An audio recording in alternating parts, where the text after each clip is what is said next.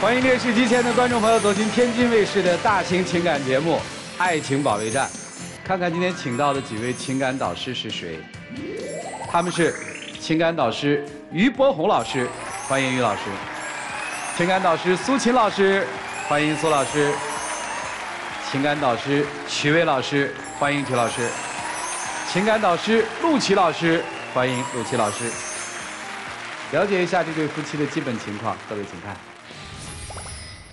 我们俩在一起三年，他连一份稳定的工作都没有，现在只能靠着我养着他。找工作那也不是一天半天就能找着的，我也有在找工作呀。那只不过现在不没有适合我的工作吗？他不仅不工作，他还不帮我做家务，我就像他的一个保姆一样，我实在是受不了了。他就因为这么点小事就要跟我离婚，那让外人知道了，那不得笑话死我们？有请这对夫妻，有请。王先生三十五岁，来自辽宁，自由职业；吕女士二十四岁，来自辽宁，自由职业。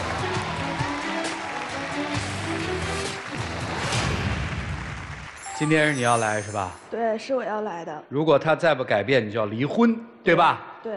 啊，结婚多久？嗯，结婚三年多。孩子多大？孩子两岁。这个怎么认识的呀？通过朋友认识的，我们两个聊的挺好的，所以说呢就在一起了。当时他对我特别好啊，嗯，就比如说我想吃个小龙虾什么的，他都能去挺远的地方给我买来，然后给我送来。然后生病的时候扎针啥的，他都能带着我去。所以说我觉得他对我特别好啊。我遇到真命天子了，那时候岁数还小嘛，我俩然后在一起一年多的时候吧。他就提出想跟我结婚，嗯，我俩就跟家里人说了，家里人不同意啊。为啥？他毕竟比我大十一岁，然后还离过婚，带个孩子，所以说我家里人就不同意。那他孩子多大呀？他孩子今年十三了呗。男孩女孩？是个男孩。那跟你一起生活吗？那大儿子？对，跟我妈和我爸在一起。哦。然后家里人反对呀，然后我也挺喜欢，我就想嫁给他，然后我俩就偷偷的就把证给领了。行，就为了所谓的爱情呗。对。在一起之后呢？然后过了没多久嘛，就发现自己就怀孕了啊。然后这时候才敢跟家里人说，家里人也是没办法了，也就同意我俩在一起了呗。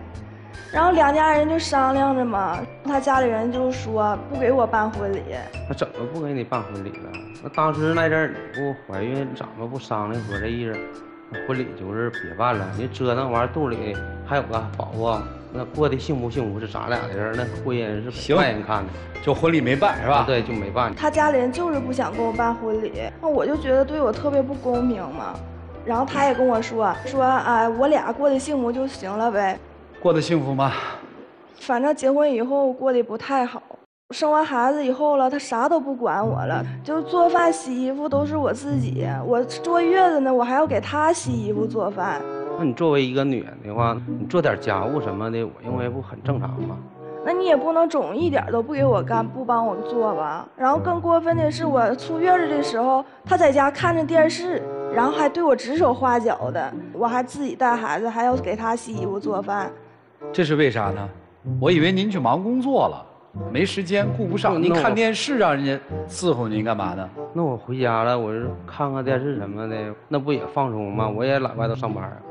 然后更过分的是，他在他家孩子面前对我指手画脚的，然后对我大吼大叫的，然后导致他家孩子现在跟我也这样。我俩刚在一起的时候，我跟他孩子关系处的还是挺好的。然后他在他孩子面前就对我指手画脚的，去你给我干点这，去你给我干点那，然后导致他那孩子现在对我也是这样式的。有一次我在那带孩子呢嘛，然后他家孩子就说我要喝水，我要切水果。我说你等一会儿，我说一会儿我给你弄。啊，不行，我现在就要吃。那你说一个孩子，那小孩那还几岁呀？那你咋不切？那让你倒点水果。不是，那你咋不切？我没来家吗？那你说让你切点水果？你说倒点水不很正常？你家里都是玻璃杯，那你就给整咋了呢？那我又不是不给他弄啊，他对我难道都没有一点起码的尊重吗？我是他的长辈，对我大吼大叫啊。那一个小孩有啥对你不尊重的？他就一点榜样都做不出来，他儿子就跟他学坏了，我就感觉我嫁给他好像不是说跟他去享受幸福去了。他好像娶我就相当于娶了一个好骗的年轻的保姆一样。然后有一次我就生气了，我就带着我女儿我就回娘家了。我就跟他说：“我说咱俩离婚吧，我说不想跟你过了，我不想再伺候你们了。”那你说就因为这点事儿你就要离婚？你让外人怎么看呢？孩子还多大呀？咋看呀？让人笑话啊？就因为点有啥让人笑话的？那就因为孩子。那你天天伺候他呀？你对他母女好点啊？我也有照顾啊。那他忘了当时我怎么对他好的了？不就婚前吗？不是骗到手就不管了吗？没有不管呢，结果他上我家去献殷勤去了。那我不第二天我不去了吗？我不说了吗？我我也给你赔礼道歉了。我说了，我说以后不是你没错，你赔啥礼道啥歉？他说我不上班吗？那你上没上班？我上班了，但是我不得慢慢找工作。我那工作也不是说你上没上班？就是当时那阵是没没上班，那就没上班吧。你不要欺负人嘛，欺负人家一个小姑娘，欺负完跑这儿还不说一句实话。没上班你哪那么多压力啊？你在家里看电视你放松。然后他就跟我上我娘家来一通献殷勤，然后跟我父母保证，我肯定以后不让他再干这点家务活了，一手不让他伸了。这是他跟我妈说的话。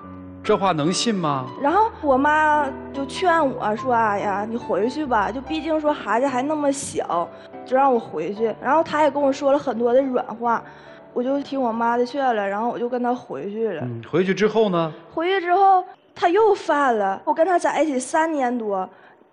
他一份稳定的工作都没有，我让他出去找工作，他还告诉我他就不愿意找工作。那我不也一直在找工作吗？我不也努力找呢吗？那我找工作那也不是说攒家开的，我不得说找一份适合我的工作吗？啥工作适合你？我就是认为说，就是只要说我能干动的，就是不太累的就可以。啥累？啥轻松？你想干啥？就是我能干动的就可以。那啥活是你能干动的？这我跟他研究的吗？他根本不是找工作，每次都是我拿离婚来要挟他，他然后他才出去找那么两天工作。我要不说他了，他又回来又犯了。那我不也找了一份工作吗？那最后儿我不也跟你研究？我说去苏州，苏州那边工资高。他是跟我说了，他找了一份工作，在苏州一个电子厂上班，说那边的工资待遇都特别好，说要跟我一起去。到那边保证好好的工作，所以说我就同意了和他一起去了。去了到那边以后呢，他头一个月的时候表现的很好，就是每天都很努力的工作。我就以为他可能是已经改过自新了呗，然后结果第二个月的时候他就变样了，迟到早退的来呢，然后还每天打游戏。在那个电子厂，我们俩一起上班嘛，我俩的那个岗位都不一样。后来有一次，同事就过来问我来了，说。他去哪了？去他那岗位找他，他不在。然后我就去找，我就埋厂子里边找他。他在厕所里打游戏，我喊他，他也不理我。后来我没办法了，我才让同事给他拽出来的。那也有三级，我去卫生间，那不也正常吗？上完卫生间，我在那边上，我就打游戏，打了一会儿，比如说把时间给打忘了，那我也也不是有意的吧？那你说上班时间不允许玩手机，你不知道吗？那后来呢？那后来因为这件事情，领导就非常生气，因为我们的订单没按时交出嘛，然后就领导就把他给开除了。该开。开除了之后呢，他又接着说，哎，工作没了，就天天就不好好找工作了。那你干嘛呢？我还上班啊。我找工作，我怎么没找？我不也努力在找工作？然后我就。我就跟他说：“我说要不然的话，你说你也没工作了，你也不想好好找工作了。我说要不然咱俩回老家吧。”他还不愿意。那我当然不同意了。出来那么长时间，你说也没挣着钱，我合计在这边，我说我再闯闯，我看看还能有什么好的发展不？然后找了三个月，他还是没找到合适的工作。那这三个月靠什么生活呢？我上班啊，我有工作呀。那我不每天也在找工作吗？他找了三个月，他都没找到一份合适的工作。他每天早上都早出晚归的告诉我说：“啊，我去找工作去了啊。”然后有一次，他洗澡，他手机来了条短信，我就看了一眼，结果是他朋友给他发的短信，告诉他说出来打游戏。完了，我就往上面翻。结果他每天都是出去打游戏去了，根本就不是找工作。那你说我打游戏，我一天打两三个小时，我不是说一天二十四小时打。再说了，平常的时候我也在找工作，我不得找个适合我的吗？我是真听不下去，你知道吧？你说，你说他他在苏州，他以前他也不是这样的，他也不沉迷于游戏。他就这样的，只是你没发现。然后我就跟他说，我让他把狐朋狗友都删了。如果说他不认识这些人，他也不可能沉迷于游戏。跟人家有什么关系？后来呢？后来我就一生气，我就买高铁票，我就回家了。我直接我就追他去了，我就我就没让他走到那个苏州高铁站，就让我追上。你当然不能让他走，你让他走，你吃什么喝什么呀？我就你不得饿死呀？我就跟他说，我说我把原先打游戏那朋友什么的我都给删了，完了当他面我也把那个就是我那个游戏啊我也给卸了，我说保证我说以后我我指定不玩了。完了我就跟他说，你要是如果真不爱在这待的话，我那同事原先跟我说过，说那个天津那边发展的挺好的，我说要不咱俩去那边发展发展，就又来天津了是吧？对，怎么样？到了天津之后，可好了，来天津以后了，你都不知道，我俩不就一起来了吗？来了没过多久，他又囔囔着又要辞职，又要不干了，你说？那你说来了吧，就是天津这个地方吧，我认为是非常的好，但是我朋友给我介绍这个工作吧，我是实在干不了。那个领班和经理吧，动不动没有事老找咱们小毛病，老罚咱们钱，我是实在忍忍不了了。我说这活我我真不想干了，完我也不想让他。那你来天津做什么？跟他一起上班啊。那他怎么能行，你就不行呢？我觉得就是他那个罚钱什么，就是找毛病，玩一天，就是说时间点儿也太长，我就实在我是真受不了。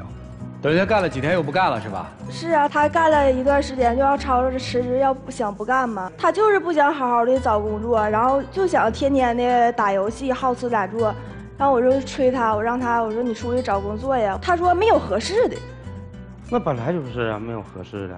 然后我又没有办法了，你知道吗？我就托朋友啊，又托这托那的，我就给他找工作。你给他找到什么工作？找的快递。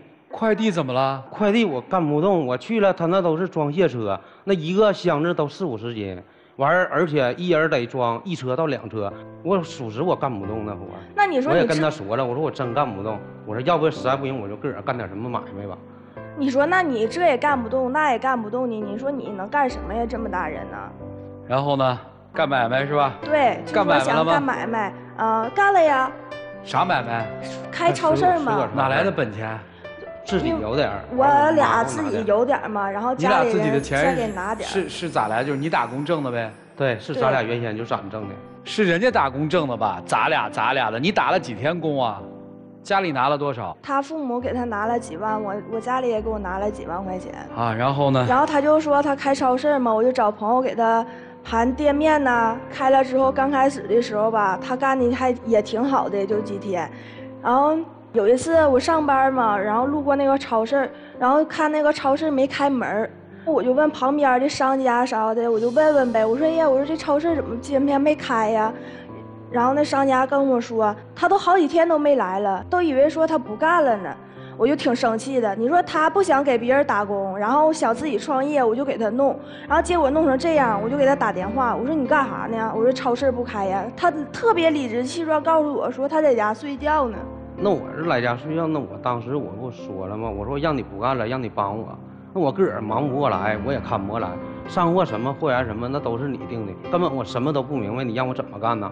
你说让我来帮你，我凭什么来帮着你呀？你自己说你自己要创业，我给你创业了，就你说我怎么帮你，我还怎么相信你呀？前两次的工作你干了几天呢？你就不干了？如果说我要是跟你一起辞职的情况下的话，你这个超市要这超市现在怎么样了？不干了，不干了，这这这那那那好几万块钱呢，赔了，行。你说我要跟他一对辞职，我不就跟他一起喝西北风了吗？是是是，超市关了之后呢？我让他出去，他也不找工作，他不找工作就不找工作呗，一点家务活也不帮我干。然后我每天我上班下班回来的时候，我还得自己洗衣服做饭，我还得给他洗衣服，还得给他弄饭吃。然后就有一次，这个你也干不了啊？做饭你干不了是吗？能干了啊？那为什么不干啊？不行了。他就是好吃懒做，想打游戏，根本不想管我，不想帮我。嗯嗯。然后之后，之后有一次我就给他洗衣服嘛，他有一个白色的衣服就被我不小心给洗花了。然后他就对我大吼大叫的，啊，又把衣服拐我脸上了，说啊，我这点家活你都干不了，你能干啥？那本来就是嘛。那你说你洗衣裳怎么能把我衣裳洗花？你为什么不洗啊？我跟你说，我真听不下去，你知道吗？你为什么不洗啊？你不是没事儿吗？那你在家里面做家务呗，他在外面挣钱也行啊，还把衣服拽你身上啊，拽我脸上了，说我这点活都干不了。他在家他不挣钱吗？他不说，他还乱花钱，他看快手看主播，还给人主播打赏。那不是，那是原先我就认他朋友。我那天刷朋友圈，我偶尔看着他了。我本身就有他微信，我问他，我说那你直播呢？他说啊，他说男主播女主播呀？女的呀。刷了多少？特别生气的就是五二零的时候，他给人家转账转了五百二十块钱。你一个月工资多少，姑娘？四五千吧。那是我借他的，又不是我转给他的。咱们之前就是认呢。他那天赶上有事他说那个哥，你借我五百块钱，我过去一阵就还你。那我也没想多，我我就直接我就给他转。人家借五百，你为什么借五百二十啊？那我就合计就是过节了嘛，正好过节那天我就赶上，我就转了五百二十块钱。但是我是借他的，不是你还跟他过啥呀？然后他就跟我说，他那是他以前认识的朋友。对呀。然后冲他借钱。那我当你面我不也给他打电话，他没接，给发微信发语音，他不都没接。我怎么知道他是不是你以前的朋友啊？那要是万一说你从快手上随便刷了一个女主播，然后加微信给人转的钱呢？更何况你为什么要拿着我的钱去给别的女人花呀？他这样对我，我觉得太不公平了。这样对我，你说我跟他在一起三年多，一个稳定的工作都没有。我养的是他，他工作也不找，上进心也没有，游戏天天玩。不，那你还不带着孩子跑？你等什么呢？其实我就觉得吧，他娶我吧，不是说娶老婆呢，就娶了一个年轻好骗的保姆，让我来伺候他。现在不仅仅是保姆啊。所以说我不想伺候他了吗？那你为啥不跑？然后我就今天来，我就想跟他说嘛，如果说他要有一点改变的话，不，他改不了了。如果说他一点改变都没有的话，我就不想跟他再在一起了。三十多岁他改什么呀？他可能那么多年就是那么混过来的吧？那你的儿子就是你父母带呗，对不对？对。那儿子的这个生活费谁给啊？我给。你哪来的钱啊？我上班啊。你上过啥班啊？就是打零耍什么的，就是。你什么时候打过零短啊？我就没听你挣过几分钱啊。那你闺女的钱谁给啊？两头爹妈给。连那个我我我媳妇儿她给，也就是说你儿子恐怕也是你爹妈在养吧？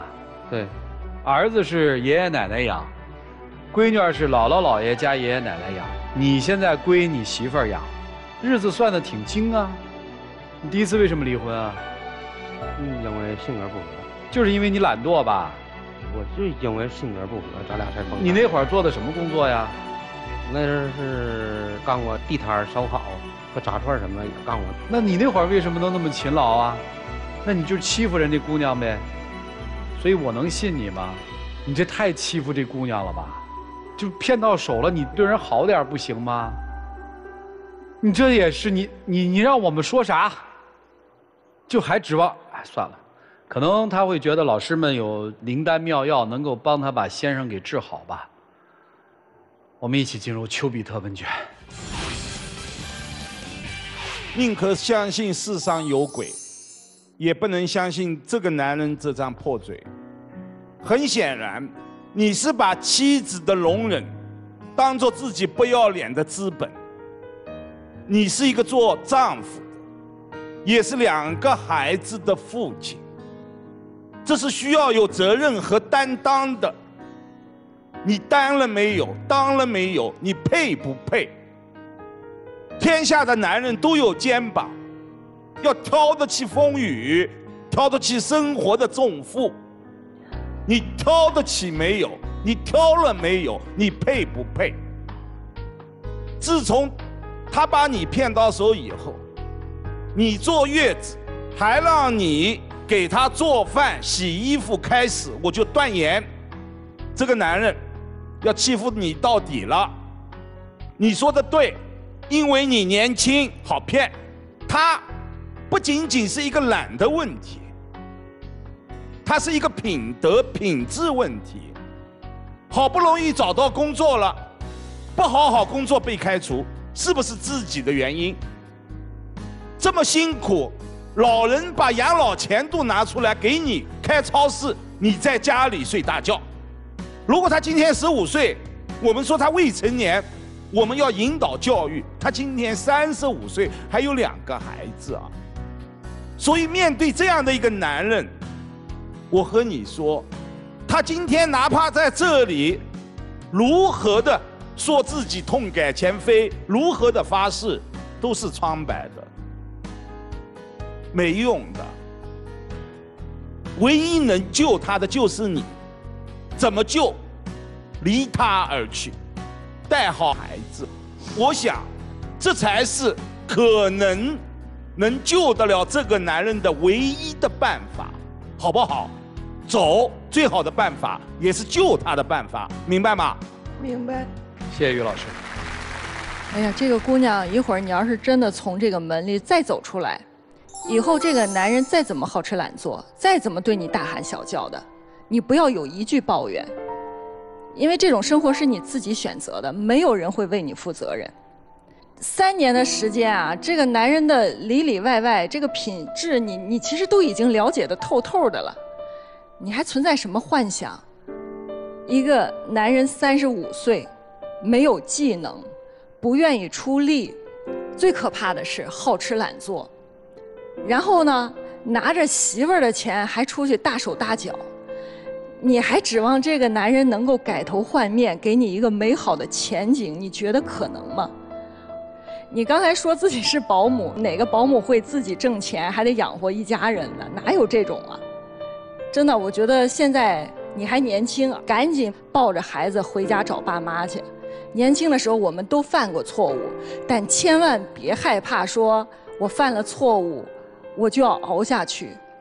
人其实真正的成长是学会给自己纠错，错了从头再来。你一个月挣四五千块钱，你还养不了自己和闺女吗？你改变不了他，那唯一的就是别让他把你和孩子拖到深渊里。好好考虑一下，为了女儿的成长，为了女儿的将来，你得负责任，好不好？哎，谢谢苏老师。很明显，姑娘上当了。你以为奔着一场爱情来了，结果他是一个骗子。你懒吗？不懒。不懒，没药可救了。骗你去领了结婚证，对吧？你是冲动，他是蓄谋已久。然后领了证之后就不办婚礼了。他自己发现，哎，你挺好糊弄哦，不办婚礼也没所谓，你还能养着我。你看他能离开你吗？还不能离开你，他吃谁的喝谁的。只有你在一次一次上当之后，你还说，如果他不改变，我就要离开他。错了。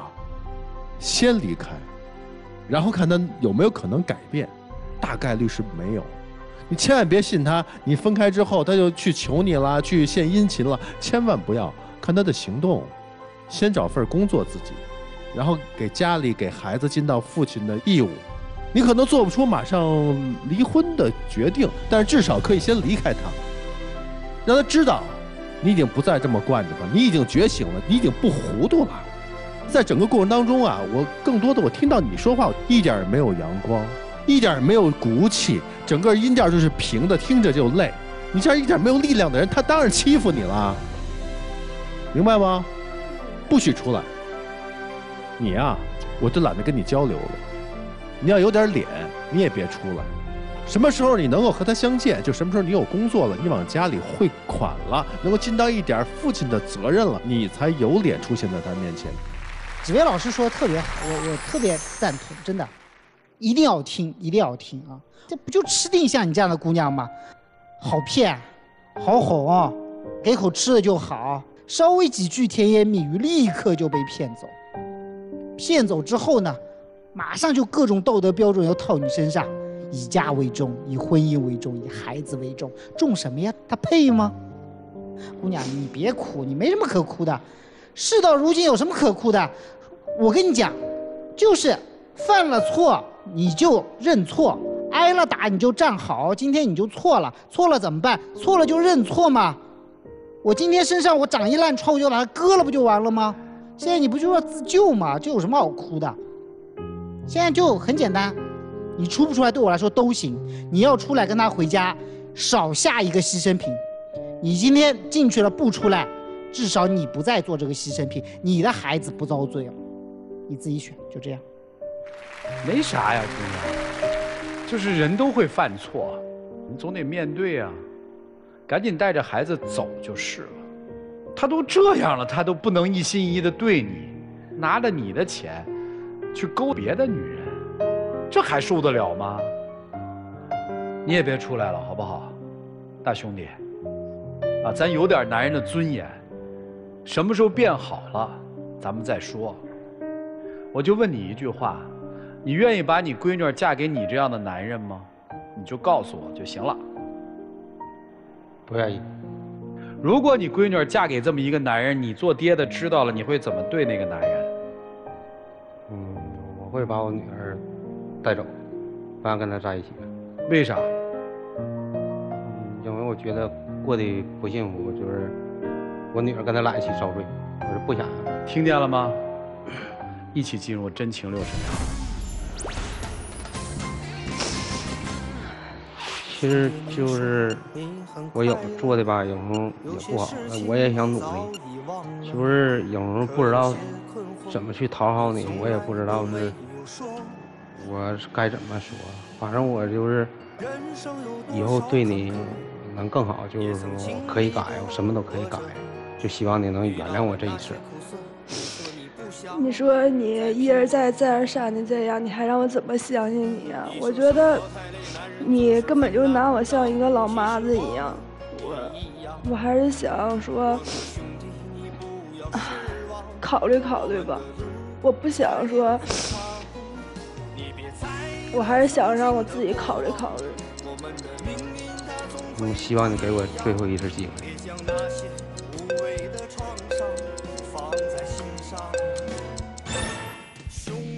哎，谢谢两位，请回吧。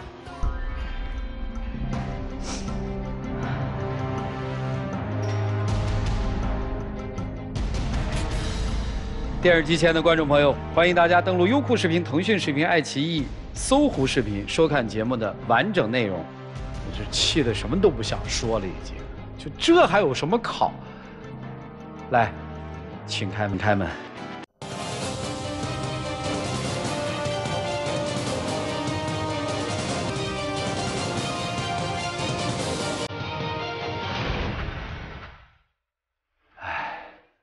一个儿子，一个闺女儿，你就替这两个孩子想想，好好的去工作吧，然后再说其他的吧。一定改吧，改不改那是你的事儿，要改早改了。想想那两个孩子的话，希望你能改吧。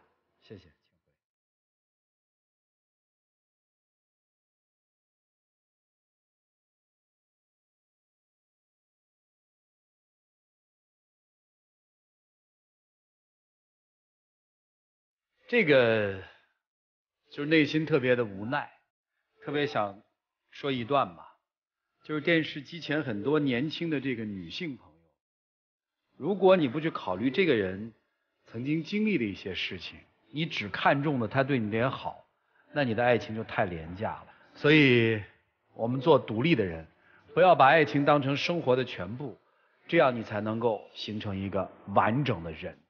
了解下一对嘉宾的基本情况，各位请看。他总是以双重标准来对待我，说要独立，却老是侵犯我的隐私。是他没有把握好工作和交友的尺度，我觉得这是正常反应。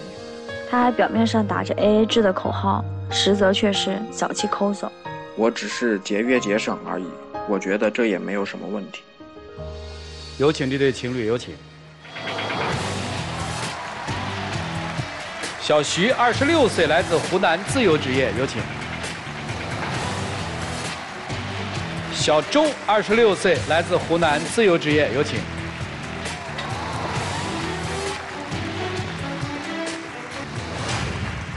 欢迎两位啊！谈了多久了？一年。女生今天主要是来评理是吧？我听他们说。对啊，我觉得跟他在一块儿，很多事情在一起之后觉得有点接受不了。他有点双标，对他自己呢有点宽容，对我就有点严格。就比如说，他在我们的爱情里面宣导着，呃，我们要纯粹的爱情、独立，但是结果他还是翻看我的手机，并且还要求我删除我微信里面的男性，我就觉得这有点太侵犯我的生活了。我觉得我做的没有什么问题，问题都在他那里，因为他现实生活中有很多异性朋友，然后在网上也有。就拿网上来说，他在游戏里做陪玩。有一天我就看见他和他那个男网友发了一些暧昧的信息，那个男网友就对他说“宝贝儿”，我当时就非常的生气，我就要求他把那个男网友删掉。他非但不删，他还和我吵起来，这让我非常的失望。做陪玩，他是一个兼职，他一直都是知道的。我可以通过上面实现一点收入，对我们两个以后生活也可以好一点。那个男生算是我的客户，确实可能对我有点，嗯，指向性的意思，但是我并没有同意，明确的拒绝过，这个他也是知道的，所以我就觉得这让我有点生气，他让我直接把他删除，那我怎么能随便删除我的客户呢？行，这是你认为侵犯你的隐私、干涉你的生活，是吧？男生说，不管是在网络里还是在现实生活当中，异性朋友都比较多，这是讲了在网络里，是吧？对。现实生活当中也有很多的异性朋友吗？呃，就是有一次一整天联系他，他都没有回我消息，直到最后我打电话，他才告诉我他和他一个朋友出去吃饭，然后他那个朋友给他介绍了一个相亲对象，他回来还告诉我，他分明就是没有把我放眼里。首先，我跟他在一块儿，我们的亲密的朋友都知道我有男朋友。其次，上次叫我去吃饭那个朋友是刚认识的，他并不知道我是不是单身。哦，我们吃饭几个男男女女的，他问我对面那个男生怎么样，我当时就拒绝了。回来我就跟他说这个事儿，结果他就非常的生气。我肯定是把这个事情当做玩笑，当做一件事情在跟你说呀。如果真的有什么，我为什么还要跟你说？我又不是缺心眼。那还有一件事呢，你从来没有在你的亲人和朋友面前介绍过我，而我的亲人和朋友你早已经都认识了。我这算什么？是摆设吗？怎么就是摆设呢？那你自己不也说要纯粹的恋爱吗？我想着我们也没有谈婚论嫁呀，而且我也不是特意的去隐瞒，我没必要走在外面拿个白条写在我脑门上，我我有男友吧？男生等于要求公开没被公开是吧？呃，其实我跟她身边的共同好友，或者说我的玩的特别好的闺蜜，都知道我有男朋友。那你要求啥呢？不都知道吗？就没有见他家人。家人这个事情，我觉得谈婚论嫁的时候可以提啊，现在提有点太早了吧。而且是这样啊，主持人，我今天过来呢，还有一个事情。其实刚在一块的时候，他就跟我讲，他说我们要 A A 制。其实我当时一听，我就觉得挺受不了的，怎么要 A A 呢？我以前的男朋友从来没有跟我说过 A A。可是我想一下，每个人有自己的消费观，我也 A 得起这个钱。我跟他在一块，我也不是图他的钱。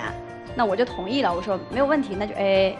他跟我 A 过很多件事，其中有一件事我最让我受不了的，就那次我们去武汉去兼职是两天的时间，工作完之后我们就去当旅游嘛，那时候挺开心的，去了黄鹤楼啊、武汉大学啊，还吃了那些好吃的热干面啊。结果一回到长沙，他就跟我说要算账。那我就想啊，他是不是在跟我旅游看这些风景的同时，他是不是就在想，哎，这个门票多少钱？到时候怎么 AA？这个车票多少钱？到时候怎么 AA？我觉得这也太让人寒心了吧。然后确实算下来之后，我确实就是比他少少转了一百多块，然后我就把那个转账给他了。结果没想他就真的收了。我觉得 A A 制没有什么问题啊，现在很多情侣都 A A 制，而且在一个纯粹的爱情里，A A 制也可以为以后减少不必要的那种经济纠纷嘛。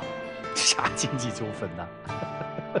什么叫纯粹的爱情？上来给我两个概念就整懵了。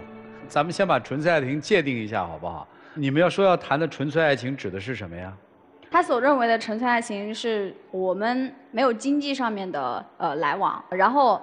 亲密的朋友知道就行了，就也没有必要什么发朋友圈啊，大肆的公开就没有必要。所以你会觉得说你是按照这个他提的要求在遵循，是吧？对啊。啊，那其实你心里不舒服，你可以跟他说嘛。你说，哎呀，我这确实心里不舒服。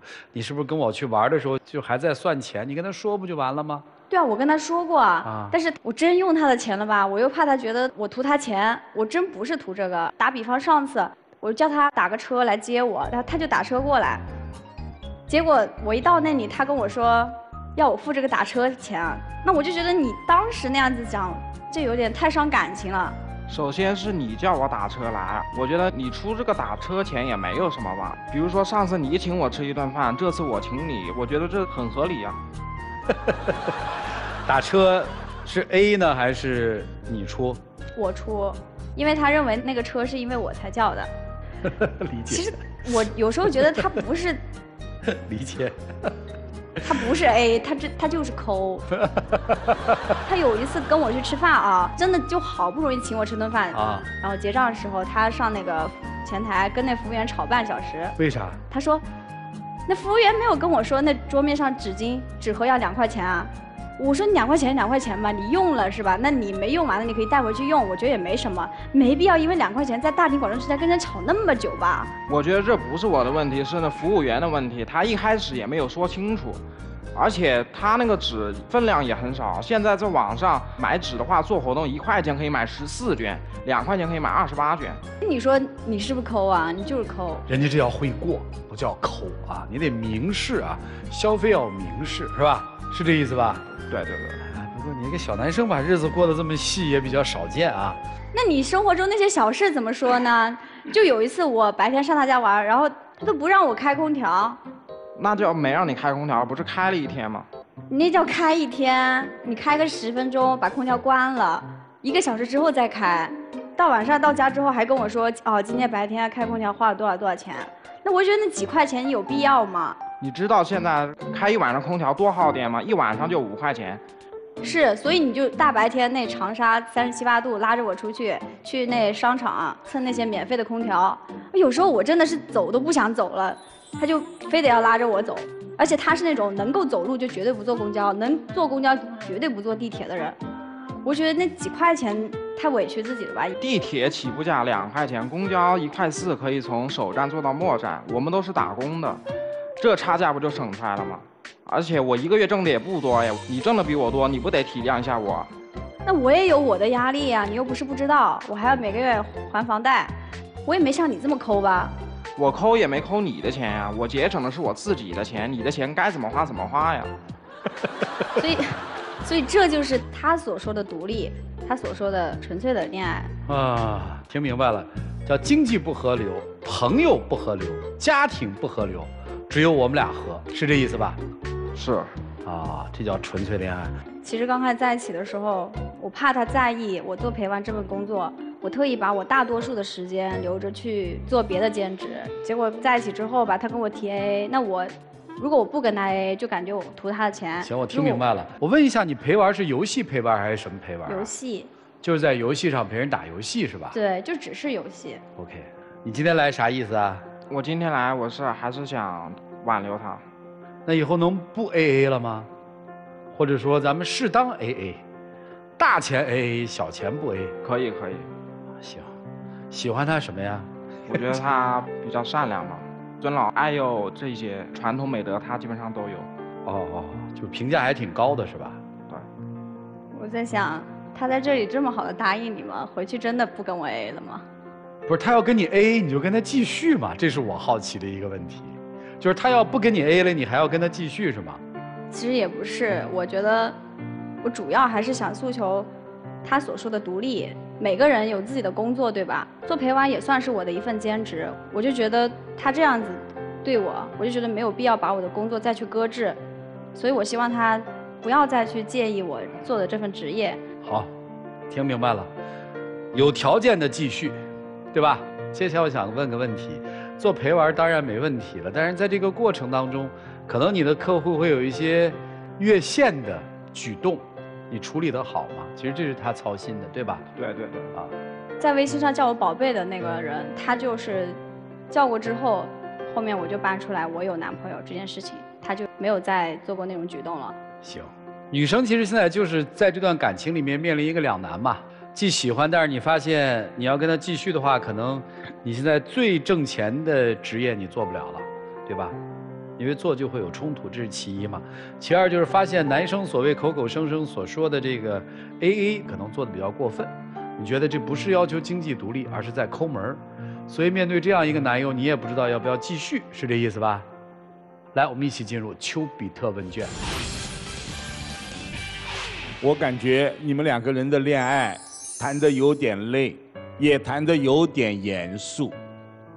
确实，节俭是美德，抠门是小气。但我个人认为，男生他精打细算，他认为钱就要花在值得花的地方，要花在有价值的地方，这难道不应该尊重吗？另外，刚才讲到，你去翻看他的手机，当然不对，但是。你的这个所谓的客户，你刚才也说了，他对你是有指向性的感情诉求的。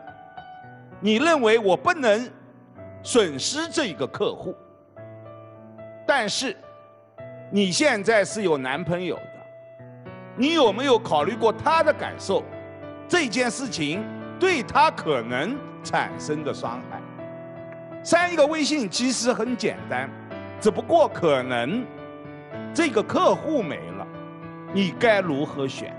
有句话，道不同不相为谋。你们两个人考量一下，两个人是不是在同频共振的一条道上？有没有可能我们把爱情谈得轻松一点、浪漫一点，甚至有时候我们大家包容一点？如果做不到，那这样累的爱情就不要再谈了，因为他会累得很痛苦。谢谢波峰兄。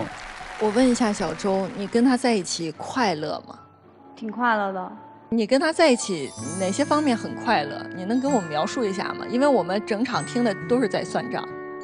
有时候我工作特别忙，我不是长沙人，但是在长沙工作了好几年了。有时候下班回到家，我就觉得。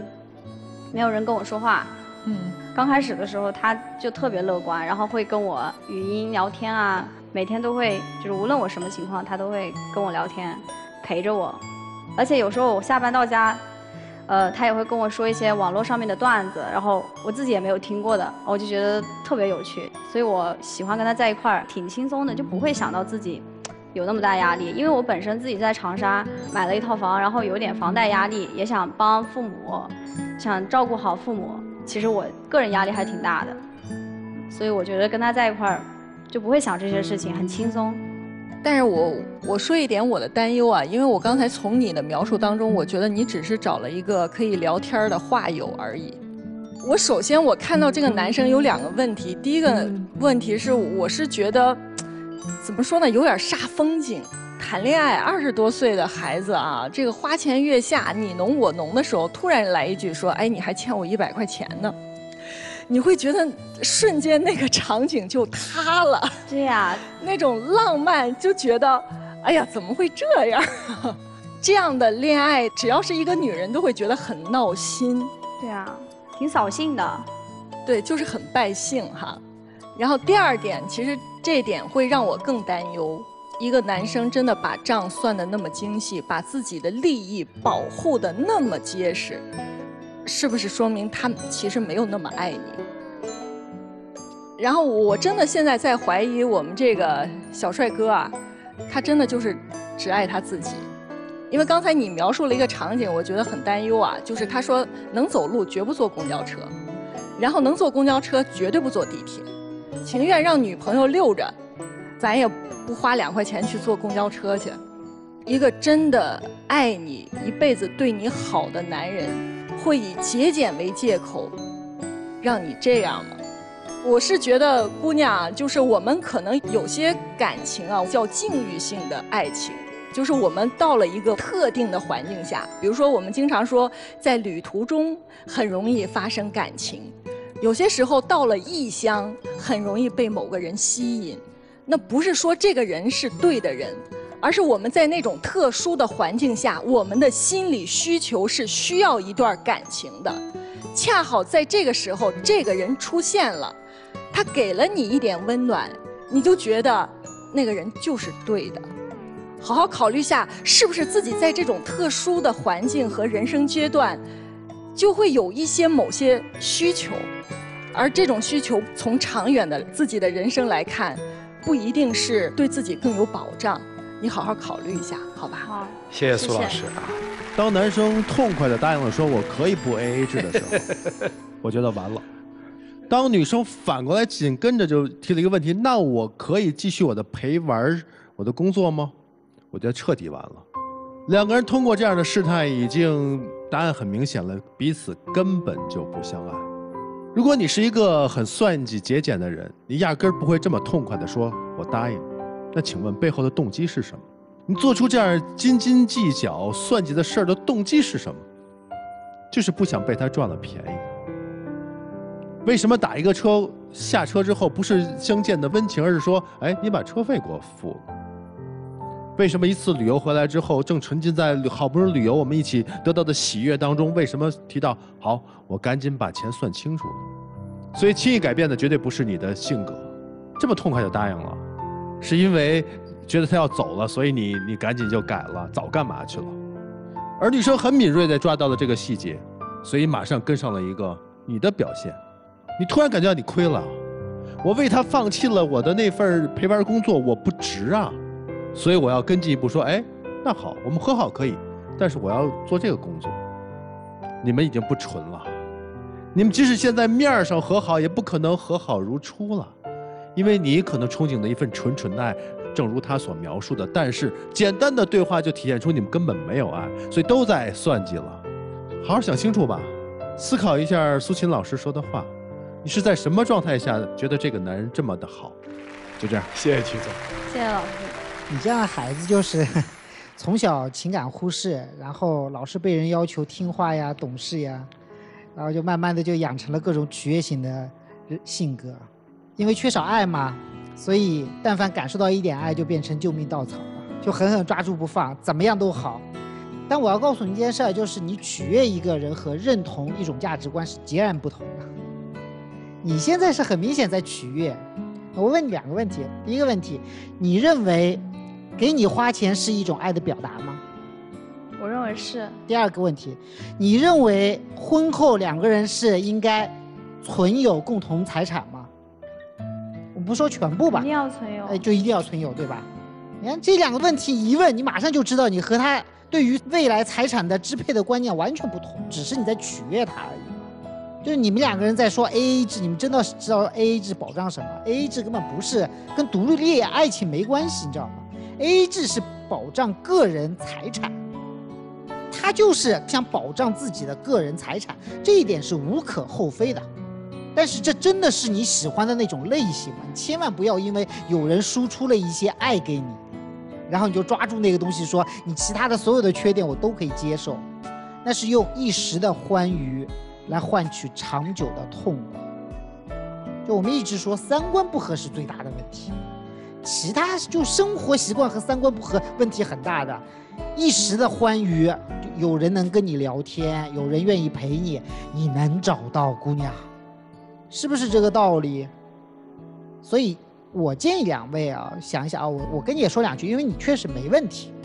我觉得节俭是个好事情，但是呢，我们中国式的。情感和婚姻里面，其实是一种粘稠的关系，是让人感觉到温暖的关系。我们是讲究温暖的，讲究温度的，讲究情感的。所以在这种时候，就把这个钱这个东西看得太紧啊，有的时候确实会让人生出很不舒服的感觉来。这个时候我们要照顾到对方的情绪。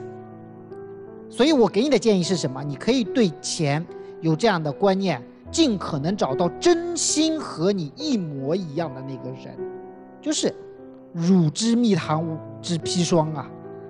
你要找到一个跟你一样共同认为那是蜜糖的那个人，而这个姑娘真心的，她只是在取悦而已。你们两人再想想吧，好吧？谢谢陆琪老师。哎呀，你们说姑娘说了半天，我就不说了啊。我说你好不好？好。我有一个同事。结婚就小二十年了，孩子也不小了。单位这个女同事就讲，她回家拿那个透明胶条，知道吗？粘了一个她自己的箱子。她老公回来说：“谁谁谁，你用了我的胶条了吧？”奇不奇葩？然后家里面人一起出去玩，这个男性很周到啊，他带了黄连素。结果呢，那天他的岳父确实就有点闹肚子。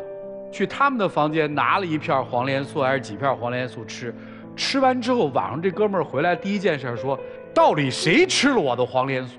再往下听，邻居特别愿意跟这一家人出去玩，为什么？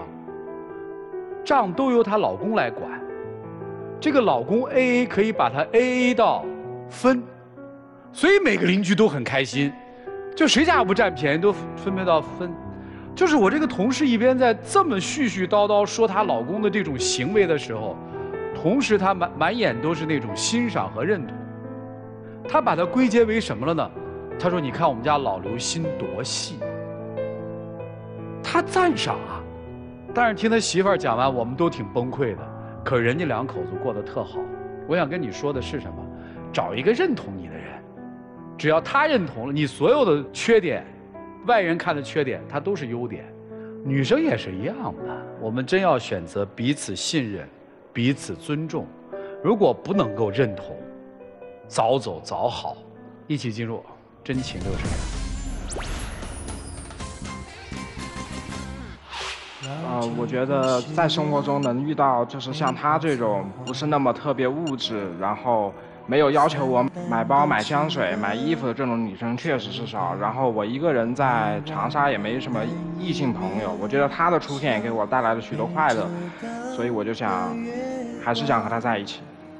可能有些事情确实是你从小养成的一些生活习惯，嗯，我应该学着认同你，我再考虑一下吧。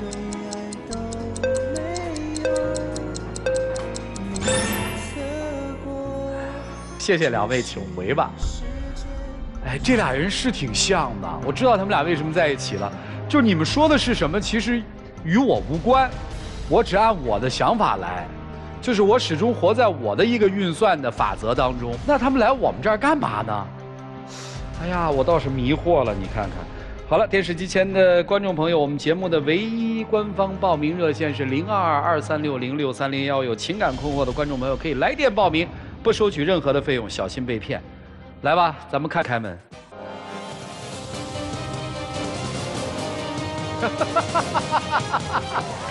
去去去去去。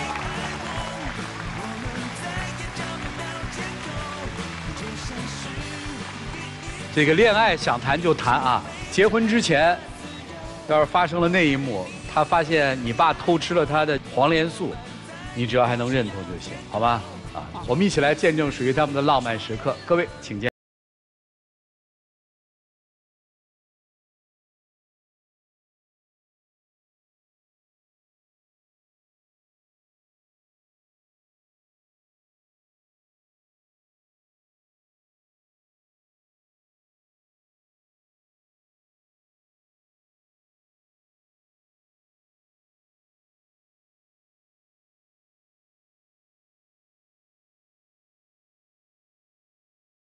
会清楚自己要的是什么。电视机前的观众朋友，请拿出手机扫描屏幕下方的二维码，下载金云 APP，了解更多的新闻资讯。接下来，请跟随我们老师进入到金云中央厨房，让我们一起走进爱情保鲜剂。